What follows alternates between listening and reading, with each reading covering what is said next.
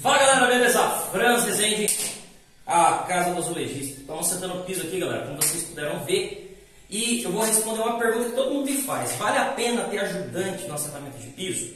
Vale se for igual o William, vale a pena se for tipo o William. O que, que eu quero explicar para vocês? Vocês viram no vídeo que enquanto eu fui assentando as peças inteiras, o William já foi cortando aquele recorte lá, já marcou esse aqui, já vai cortar ou seja, ele vai adiantando o meu trabalho. Enquanto eu vou soltando os inteiros, ele já vai fazendo todos os recortes. Vou mostrar para vocês, lá na sala, eu fui soltando os inteiros. Eu entrei para o primeiro quarto, o William já foi chegando para os recortes. Vou mostrar para vocês.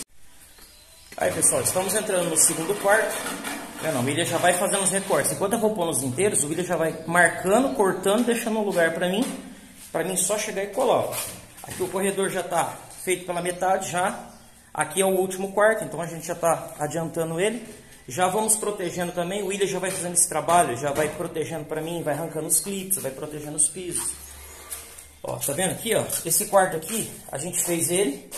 Enquanto eu fui começar o outro quarto, o William já foi soltando os recortes. Tá sem colar esses recortes aqui, ó. O William já foi deixando ele no jeito. Agora é só chegar e colar tudo de uma vez. Ou seja, eu não paro, eu não paro o assentamento para fazer recorte. Quem faz o recorte é o ajudante. Já deixo ali a máquina no jeito aqui na sala, que é um ambiente maior, já protegido também.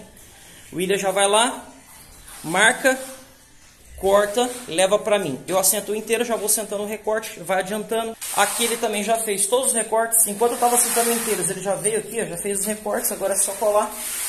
Aí desse jeito vale a pena. Resumindo, pessoal, vale a pena ter ajudante quando ele te ajuda realmente, ele adianta a etapas do teu trabalho que você não precisa parar para fazer. Recorte, rejuntamento, limpeza, empapelamento, tudo isso aqui é feito por ele. Então ele adianta uma etapa do trabalho que eu não preciso parar para fazer. Nesse meio tempo eu vou soltando a produção. O trabalho que o William está fazendo automaticamente se paga, porque como ele está produzindo uma parte do trabalho que eu vou executar futuramente, ele está pagando o dia dele. Então aí vale a pena.